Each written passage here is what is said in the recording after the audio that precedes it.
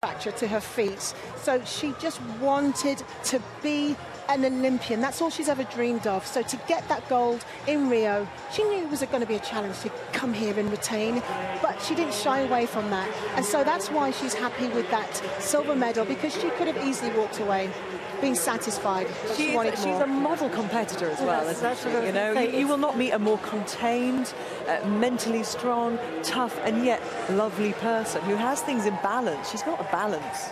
Yeah, I mean, I think you know one of the, the moments in this competition that sort of summed that up is uh, during the uh, during the javelin when she came back and had a really good, she got a really got good, a good go really good, and we were all like, oh, that's fantastic, and she went right back to focus right back to focus and, and focused on what's next. That you know, she doesn't spend the time celebrating and you know and that sort of thing. And I don't think she spends much time focused on other competitors as well. She's focused on her competition, on her performance, and that's what great competitors do. You focus on the things that you can control and don't worry about the things that you can't. What I admire the most about her, there's a lot, but what I admire the most is how she's had to reevaluate.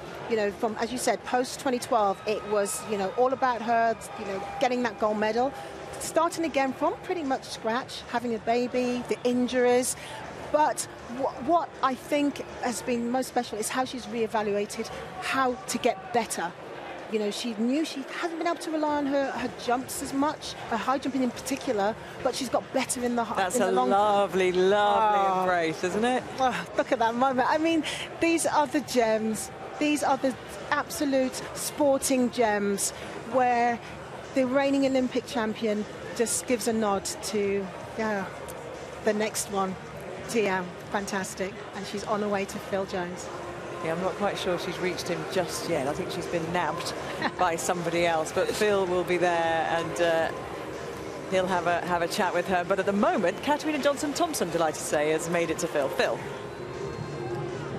What Kat, your reflections on that? Is it is it a sense of opportunity missed? Yeah, of course. It was like one of the best opportunities I've ever had to do well. So I'm a bit disappointed at myself that you know I didn't execute when I when I really needed to. Um, well, I'm, I'm, happy I've finished and I'm not going to cry this time.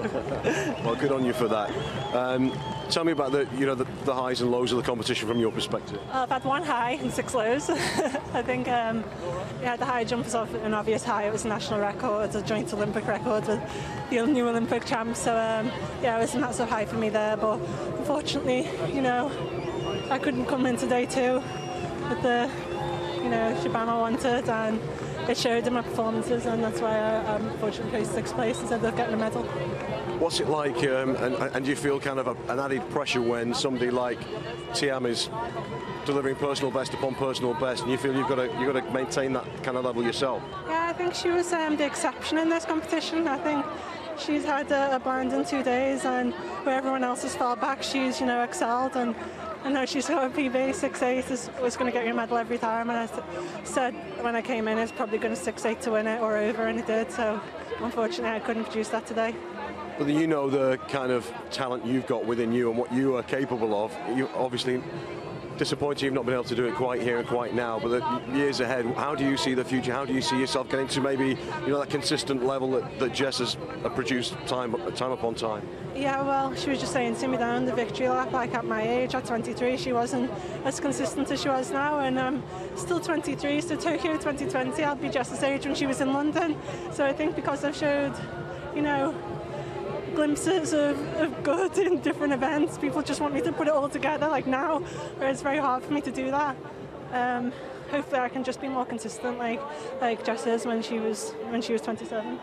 Well, here's, here's the, woman herself we're talking about, Kat, saying how consistent uh, you've been, but not at Kat's age, and it's uh, it's an interesting dynamic and something that Kat will be able to take with her going forward.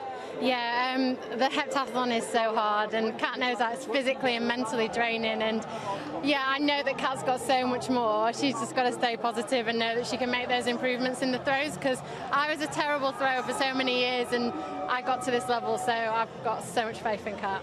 It's great to see you draped in the flag once again. A silver medal, a great defence of your of your title.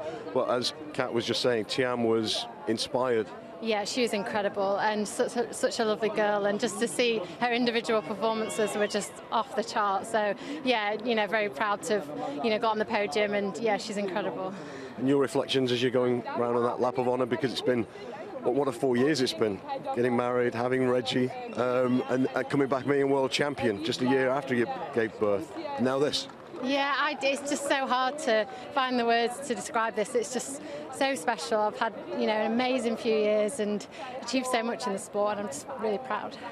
I know that um, what four years ago it was Super Saturday. We had three golds. We've had a gold, silver, and a bronze. That's still pretty super, isn't it, for the British team? Yeah, I mean, just watching Mo is incredible, and Greg did amazing as well. And I think for us to come back and got three golds on Super Saturday, Saturday again would have been a huge ask, but medals are medals, so I think we've all done really well.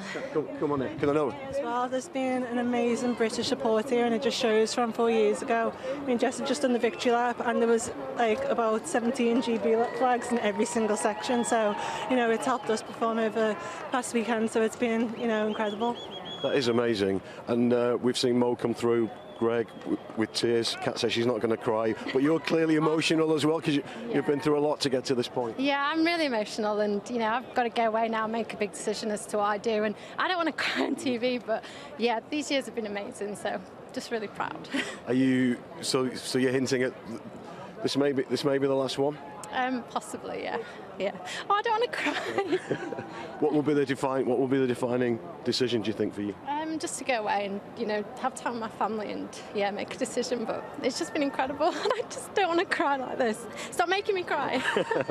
I'll, let, I'll let you go and uh, listen. It's always it's always been a pleasure covering you, whether this is your last event or not. Congratulations on a great career, and I know, Kat, the greatest is yet to come. Thank you both. Thank you so much. Thanks. Phil's job. That's what, that's what he does. I mean, you know, he's just, isn't he wonderful in those moments? They, they just all love having that moment with Phil. It kind of feels like the, it's, the, it's the full stop at the end of your whole experience when you have your chat with Phil. Oh, you saw Matthew Hudson go run over to Phil after he, Matthew Hudson Smith after he finished his. Because he knows that Phil's the conduit to you. He wants to hear what you say. he is our dude, Phil. And those two ladies there just uh, really, you know, their emotions summed up what they've gone through in the last two days. And for, for Jess, we just got a hint there that her mind is, is not made up where she's going with this. Is she going to put another year of her life, uh, you know, uh, sacrifice everything that she does to go to London next year and uh, try and retain her world championship title? I can't begin to put into words how difficult it is to, you know, think about going again for another 12 months. After all she's been through already, you know, she she loves being a family woman. She, she's seen the championship. She's been, you know, double world champion, uh, uh, you know, Olympic champion. Can she muster up the energy? You know, she talked about post-pregnancy, post having Reggie. I didn't realize it was going to be so hard getting back. Mm. And it really is. I've been there. I know what it's like. But she she has to go away, take her time, and see how she feels. See if um, if she'll miss it enough to put her through that hard winter work again, to raise her game yet again, because the young pretenders are coming after her. You know, they are they're there. Um, Kat will reflect. Katarina will reflect on what's happened, and she will get better. It's right, and I know we're going to talk maybe a little bit about her in a little while, but there's we care. You know, we care about her performance. We know the potential we know that she can iron out those glitches in the two throws events. Um, but she has to stay positive and ha she has to make changes. And she said, I mean, Jess said it there, didn't she? I was terrible at throwing. And, you know, she was alluding to the fact that they are the weakest parts of her heptathlon. Mm. I think that, you know, Jess, though, it, it, sounded to me like right there that it's over, that she's done. And, and I would, you know, and, and you think about why would you come back – when she's won two world championships already. She's had an Olympics at home and won gold and a silver here. The motivation, and just one of those athletes who understands. London, I believe, that's the motivation. No, but see, it, for us, we're going to be covering it. But for Jess, she's got to, as Denise said, she's got to go through 12 months of training and be motivated every day to go out there. And so, what is that motivation? I get to compete at home. Well, you did that in the Olympics. So the World Championships at home will pale in comparison. I get to win a World Paula's Championship. going, no, no. I've already, she's already won two. Agree. You have to be very, very careful when you make those decisions, as she will do. As she said, she's going to go away and think about it with her family. But I think she'll have to understand that if that motivation isn't there, so what, what is there left to do? Then you're not going to go out and you're not going to train as hard, especially when you've got a kid and a family at home that you'd rather be with there's got to be a pretty big carrot at the end of that in order to go out there and put that time time in away from your family every day. You have to remember she got injured, you know, in the early part of the year, and that's going to be the biggest toll. The heptathlon takes its toll on your body, and um, if she's going to come back, will, does she want to have those those you know, just that problems, those problems again, because they, they may reoccur. Mm. I mean, she's done fantastically well to get her body back into that shape, but the injuries, Guess what? the motivation. FBTM, gold medal.